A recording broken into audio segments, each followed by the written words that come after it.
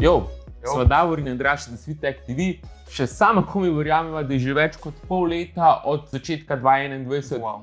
in marsikaj se je v tem času že zgodilo. Tudi ene par novih telefonov je že vam prišlo. Zato sem se odločila, da vam danes predstavim seznam najnih top pametnih telefonov v letošnjem letu. No, vsaj do začetka julija, ker je, bo še kar nekaj zanimivih telefonov letos vam prišlo. Preden pa začnemo, ne pozabite se naročiti na tale na YouTube kanal, da ne boste zgrešili videa na koncu leta o top telefonih celega leta. Mhm. Spremljate naju pa tudi na Facebooku, Instagramu, Twitterju in pa TikToku, tako da gremo hitro čez najn seznam. Najprej sem imela idejo, da bi predstavila top 5 telefonov v prvi polovici 2021. Sam sem malo ugotovila, da bi izpustila preveč dobrih telefonov, tako da sva povečala številko na top 10. Pa mi bi bo zraven dodala še kakšno časno omembo. Ne bova sicer preveč govorila o specifikacijah, ker nimamo časa. Ne. Bova pa dala linke za tiste telefone, ki sva jih ocenila in tudi za kakšne druge dol v opis. Prosim vas tudi, da se ne jemljete najne listice preveč k srcu. To je čist najna listica, ki so jo naredila na podlagi telefonov, ki so jih sama sprobala in v katerih tudi smo spremljali novice.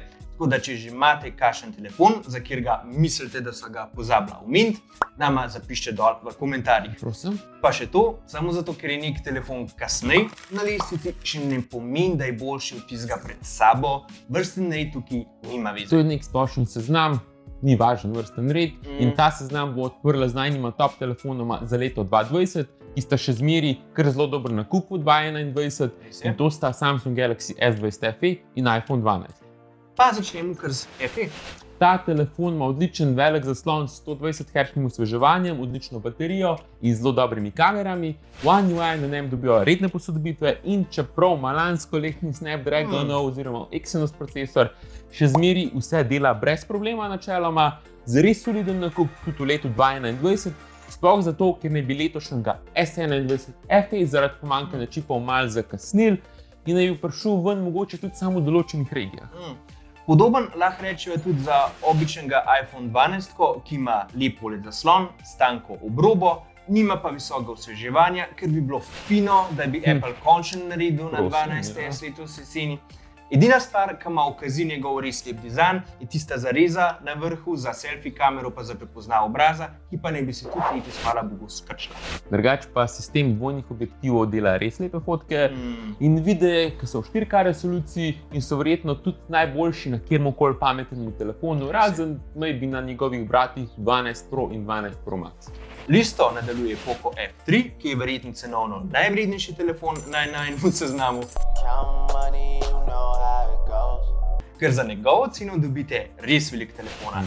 Ima 120 Hz osveževanje zaslona in telefon res izgleda premijsko, ker ima steklo spredi in zadnji, tako da ti spade veliko dražji, kot pa dejansko je. Poganja ga Snapdragon 870, ki je overclocked verzija lanskoletnega top procesorja Snapdragon 865, kar pomeni, da je še zmeraj hudo, hudo močen čip in verjetno močnejši kot pa velik čipov na letošnjih telefonih. Mhm, pa recimo tudi boljši od lanskoletnega Pixla 4a, pa še to, za svojo ceno ima tudi zelo spodoben motorček za delanje povratnih vibracij, ko pišete sporočila.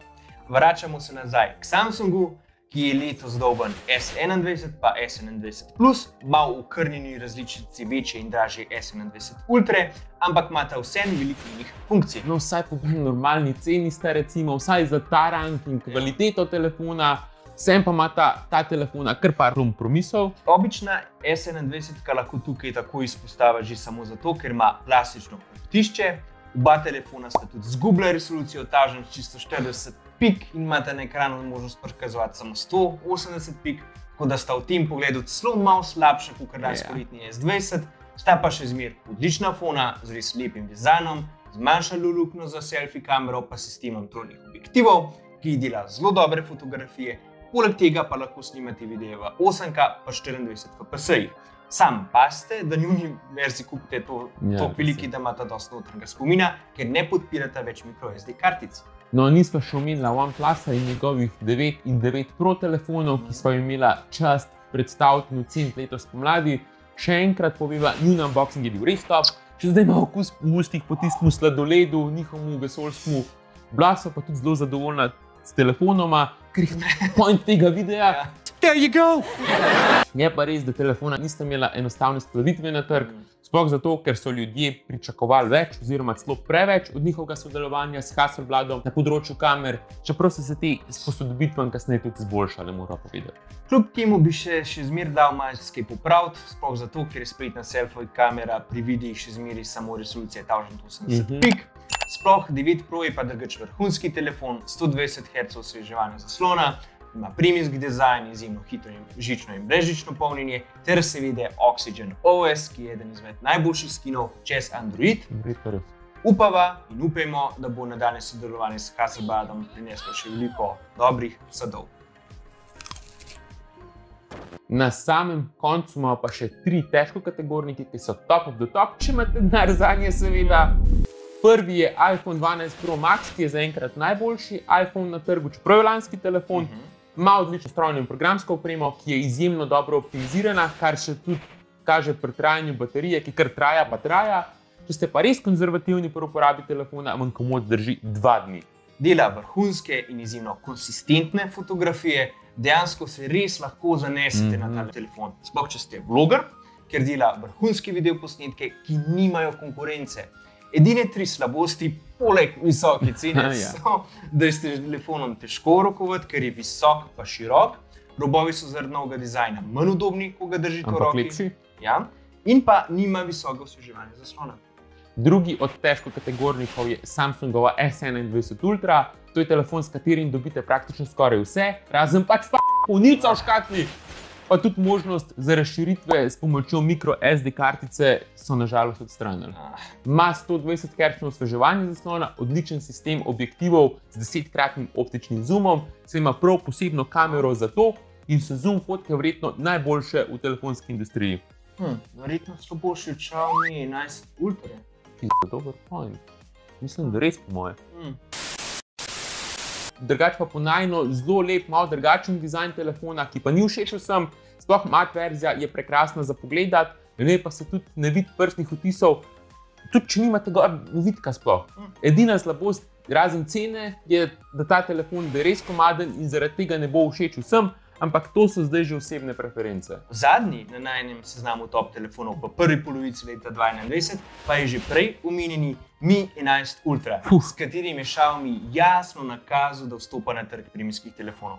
Ta telefon je S21 Ultra na dodatnih steroidih. Ima svetu zaslon, stav za 700 niti, premijski keramičen dizajn, hitro žično in brezžično polnjenje 67 W. Na modulu za objektive ima še pomožni mini zaslon in trenutno skoraj največji senzor kamere na telefonih na zadnji strani, če ni celo največji. S tem mini ekrančkom lažje zajemate selfije tudi s boljšimi hrbtnimi kamerami, ki sicer tudi zmorejo zoom do 120 krat, ampak od tega samo 5 krat optični zoom. Tako da, kot smo rekli, ne dela tako dobrih zoom fotk kot ultra. Poleg tega je imel v preteklosti tudi težave, ker je obstajal zamik med pritiskom na zaklop in zajemom fotke. Čeprav je drag kože fran za večino uporabnikov, pa je zaradi vseh funkcij preprosto mogel prstati na najnem Mhm. seznamu in močno upava, da ga bo lahko enkrat sprobala skupaj s S21 Ultra, tudi če sam v privat lifeu in ne za YouTube. Ja. I just hope I find it along the way. To je to, to je najmanj seznam top Ja. telefonov za prvo polovico leta 2021. Moramo pa na tej točki še par častnih omen posendati, ki so za las grešili ta najmanj seznam. Prvi tak telefon je Oppo Find X3 Pro, ki je zelo podoben iPhone 12 Pro Max in ima zelo hudo mikroskopsko kamero. Potem je tle Asus Zenfone 8, ki je verjetno najboljši kompaktni telefon na trgu. Če pa smo še pri ugodnih cenah, ne smemo pozabiti na Realme 8 Pro in Redmi Note 10 Pro, ki imata oba 108 megapikslov veliki kameri in možnost hitrega polnjenja za super ceno. Zdaj, če ste pa gameri, se pa ne smete pozabiti omeniti ROG Phone 5 Pro, ki ima ogromno 6000 mAh veliko baterijo, pa 144 Hz osveževanje zaslona. Za konec pa ne smemo še pozabiti omeniti tudi bitga Legion Phone Dual Pro, Ja. za katerega skoraj težko veste, če je bolj prenosna konzola ali pa telefon. Tudi vsi ti tele, telefoni so bili top, je pa res, da morate nekatere od njih dobiti direkt od uvoznikov in niso pri operaterjih, ali pa eni sploh še niso pri nas in tudi zaradi tega niso prišli na ta seznam. So pa še zmeraj vrhunski in vredni, da jih pogledate in razmislite o nakupu. Evo, to je bilo to z najne strani za danes. Upava, da ste uživali v gledanju najnega videa. Dajte nam sporočiti dol v komentarjih, če se strinjate z nami glede teh telefonov ali pa ne. Bova pa tudi hvaležna, če ima kdo izmed vas za posodo TSN20 Ultra Prosim. ali pa mi 11 Ultra. Ful bi zelo- rada sprobala. Zelo to se priporoča. Tako, upava, da počasi uživate na zasluženih dopustih, mi da se za danes poslavljava in se vidimo v naslednjem videu. Ciao!